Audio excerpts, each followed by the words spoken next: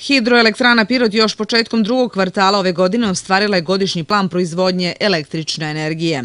Imamo preko plana ostvarenja od nekih 30 procenata, imali smo godišnji plan proizvodnje od 66 miliona kWh, to smo ostvarili 14. aprila još, jer smo imali izuzetno povoljnu hidrologiju u prvom kvartalu ove godine, tako da smo dostigli i prestigli taj plan proizvodnje. Trenutno imamo proizvedeno oko 88 miliona kWh, te to, kažem, negde oko 30% iznad tog godišnjeg plana.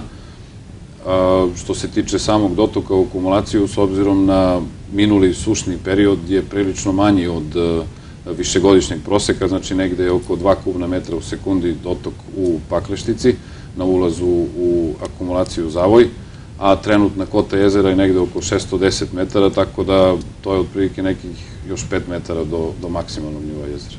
Hidroelektrana trenutno radi u skladu sa godišnjim planom održavanja, ali su u toku i pripreme za remont koji će, kaže Stojanović, ove godine trajati duže zbog ozbiljnosti zahvata koji trebaju da budu završeni. To će biti malo veći i malo duži remont od nekih 45 dana iz razloga što se vrši revizija tunela i betonske obloge i ugrađuje se određeni sistem praćenja, e, praćenja stanja samog tunela. E, tunel je, kao što znate, dugačak 10 km, to je veoma zahtevan objekat, veoma je bitno da se dobro organizuje čitav posao oko njega, tako da zbog toga i traje remont malo duže.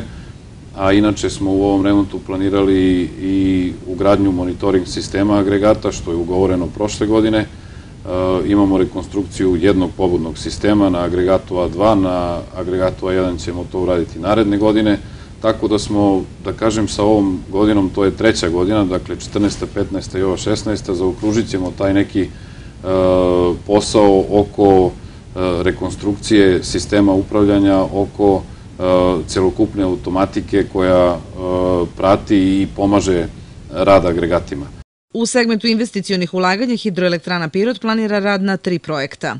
Trenutno je u izradi projektno-tehnička dokumentacija za mini hidroelektranu Zavoj, to je mini hidroelektrana na temeljnom ispustu, na brani, ona treba bude veličine negde oko 500 kW, biće instalirana na biološkom minimumu koji je, kao što znate, u nekom ranijom periodu bio problem. Mi smo to sanirali ugradnjom opreme na, na samom temeljnom ispustu i sada nemamo taj problem sa biološkim minimumom, ali hoćemo da tih 600 litara u sekundi iskoristimo i energetski i trebalo bi od toga da imamo benefit od nekih 3 miliona kWh na godišnjem nivou. U planu je i rad na projektu mini hidroelektrana na ispustu u Nišavu, ali i nastavak radova na Toplodolskom tunelu, kaže Stojanović.